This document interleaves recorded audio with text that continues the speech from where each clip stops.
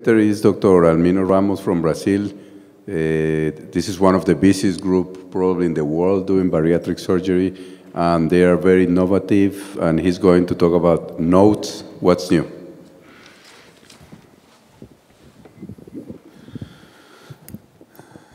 Thank you, Dr. Zundel. Thank you, Dr. Ponsky, by the chance to present here uh, some data about uh, notes. Which one is to, to go ahead, Nathan, here? It's the mouse. Click on the mouse. We have two here. This one? Let's try. Okay. Thank you. Uh, so the question we have to try to answer you is note what's new. Uh, this is our disclosures. Our group is from São Paulo, Brazil. And uh, this is what's supposed to be the evolution about surgery along the, the time. So we come from laparotomy to laparoscopy, and now we are trying to go to notes. And uh, it's very easy to imagine that to, to go to notes, we, we need more technical development. And uh, the great uh, objective about this is to offer to our patient less uh, invasive tr treatments in order to have better uh, recoveries.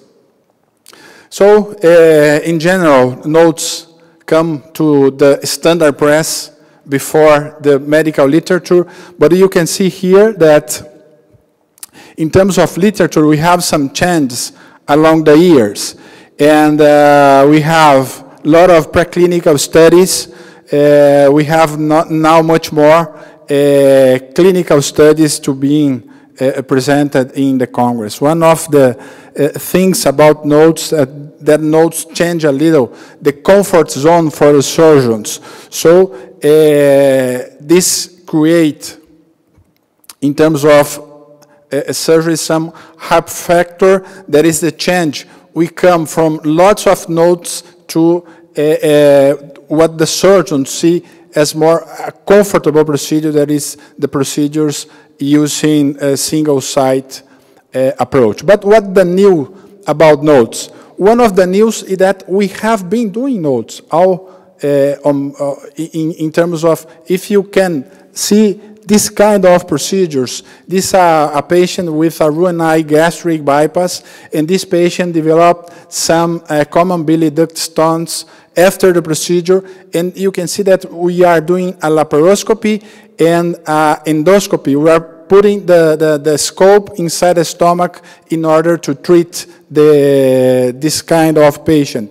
Another use for notes is the endoscopic band removal. You can see uh, uh, nice pictures about this, and these are really notes procedure. Another one is in managing complications in bariatric patients. We have to do uh, procedures like this. We are uh, treating here a fistula in a post-operative uh, Roux-en-Y gastric bypass. What's news in terms of transgastric access. This is very uh, uh, known, the, the PEG procedure. Uh, the peritoneoscopy um, through notes, through stomach. Uh, and since the first presentations of Dr. Swanstrom doing a, a, a few cases about transgastric cholecystectomy, we have uh, a few reports on the literature about this. Uh, this is one of the studies, and you can see some comparison in between transgastric and transvaginal uh, cholecystectomy. And if you check complication, you see that we having a, a lot of, we continue having a lot complications with this kind of approach, mainly the transgastric approach. So we have to improve some some issues in order to, to continue.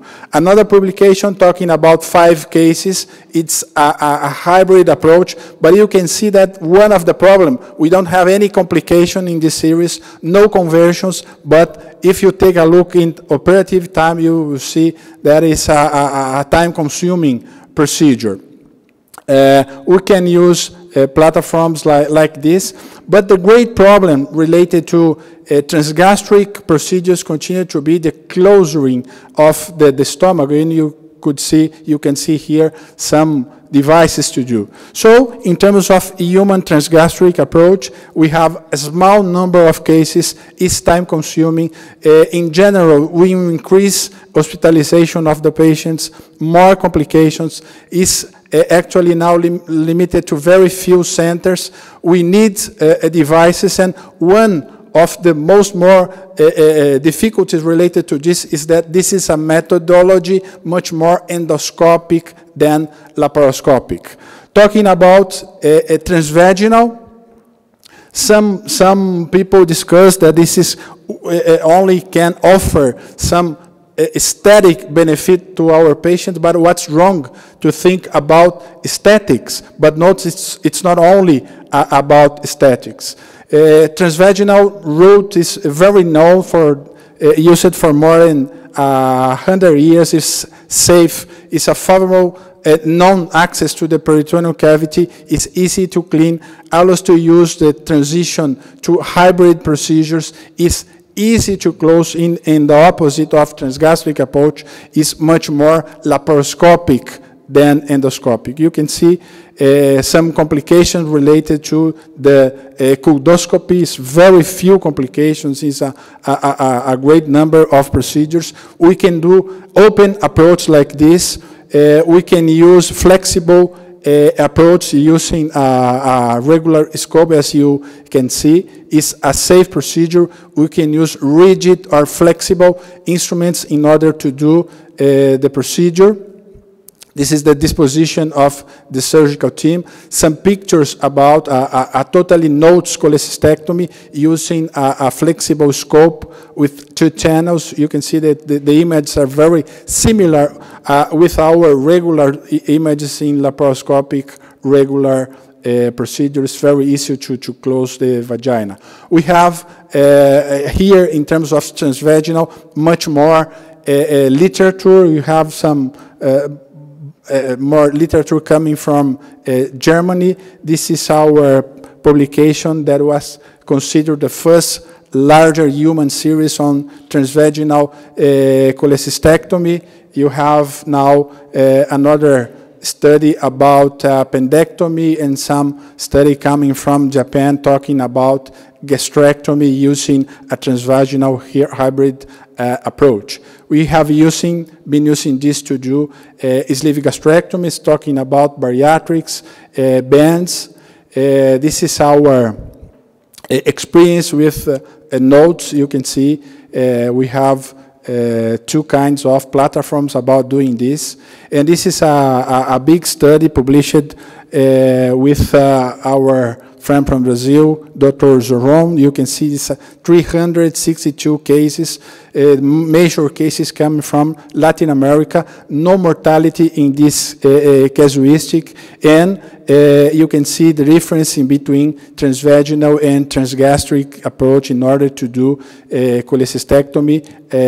once again, we can confirm the major number of complications related to, to transgastric approach. This is a surprise to us. Uh, Germany uh, registered about uh, notes, and you can see here 515 uh, cases. The majority of these cases are uh, caused by a hybrid approach, 3% uh, complication and 5% conversion. We have some new tools. These new tools actually are uh, have been uh, using much more in endoscopic approach than notes or laparoscopic approach. Uh, we have some new uh, platforms, as this platform from Endovia, uh, the Olympus Samurai, the Anubiscope. This is uh, some news about this kind of procedure. in conclusion, talking about notes, where are we going? Uh, at, uh, if we, we do some a question about notes, is notes ready for prime time application? Uh, I think that the answer is at the present, no. We still have many important milestones that needed to be uh, met. We have learned from past research that human notes experience is feasible but limited by the current instruments and techniques. Many procedures have been tested in animal models, but very few have confirmed this kind of results in terms of safety and feasibility in humans. The future, back to the basis, few, uh, uh, sure, few groups will still uh, few groups will still work in development uh, uh, about notes, lots of knowledge generated in, in this kind of studies related to notes have been transferred to endoluminal and scope uh, and single-site surgery, and uh, I'm sure that notes less and endoluminal therapies will merge in a near future. Thank you very much.